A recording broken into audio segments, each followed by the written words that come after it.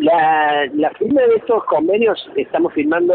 eh, 25 convenios que involucra otros tantos centros de jubilados de 20 ciudades de la, de la provincia y que va a permitir darle, ofrecerle a los adultos mayores que viven en cada uno de estos lugares la posibilidad de tener distintos tipos de talleres, incluye desde talleres de informática, actividades físicas, actividades artísticas, manualidades, eh, todo lo que puede ser de interés y que hace a la calidad de vida de los adultos mayores. Para la caja es un hecho histórico, no solo porque va a involucrar 850 adultos mayores que pasan a tener estas actividades,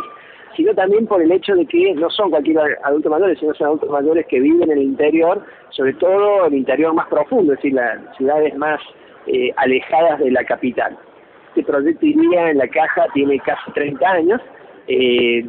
fue pionero en su momento, eh, tuvo altibajos, lo hemos potenciado, pero tenía una deuda pendiente, que era la posibilidad de eh, llegar a, al interior de la provincia, al interior más profundo, y, gracias, digamos, a estos convenios lo estamos logrando, y de allí nuestra enorme alegría, satisfacción y,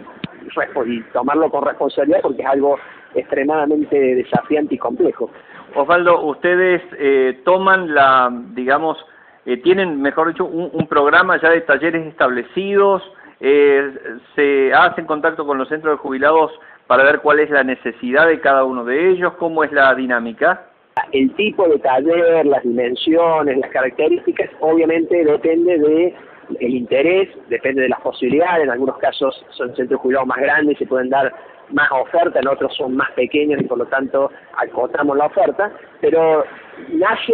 del diálogo, digamos, que tenemos con los centros jubilados, este trabajo que ya lleva, eh, si bien no es muy largo en tiempo, ha sido muy intenso a través de eh, nuestro equipo de la caja, visitando el interior y eh, eh, a partir de allí eh, se han estructurado estas ofertas que seguramente a futuro se irán mejorando, perfeccionando. Tenemos previsto capacitar a quienes van a hacer cargo de estos, de estos eh, talleres para que tengan, digamos, las herramientas que se necesitan para eh, hacerse cargo, digamos, de eh, trabajar con, con, adultos mayores. Tenemos el previsto monitorearlo, hacer un seguimiento, apuntando a que la calidad de, lo, de los servicios eh, no sean muy distintas a las que puede tener alguien que vive en Córdoba o en Río Cuarto. Una última, Osvaldo, en este caso ustedes hoy firman el convenio eh, a las 13, 13.30 horas, eh, tengo entendido, y después, operativamente, ¿cómo continúa?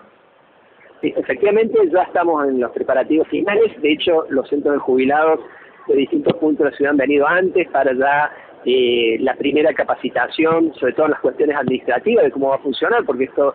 eh, implica que la, la, caja a través del fondo que administra específico para el ILIA va a transferir mensualmente el dinero necesario para que los, los centros de jubilados puedan pagarle a los voluntarios que van a hacer lo, los cursos. Eh, y cada uno de ellos, bueno, se va a llevar las herramientas para lo que es la inscripción de beneficiarios. Naturalmente, bueno, eh, cada centro jubilado va a tener un cronograma que se va a adaptar a sus necesidades, pero eh, todo el proceso de inscripción es similar al que se hace en Córdoba o en Río Cuarto con nuestros sistemas informáticos eh, y estamos informando que naturalmente vamos a ir monitoreando y controlando de que eh, los cursos se desarrollen con normalidad. En general hay dos tipos de cursos, alguno que tiene una única reunión semanal de dos horas y hay otros un poco más intensos que son eh, dos veces por semana, dos horas cada es decir, cuatro horas por semana.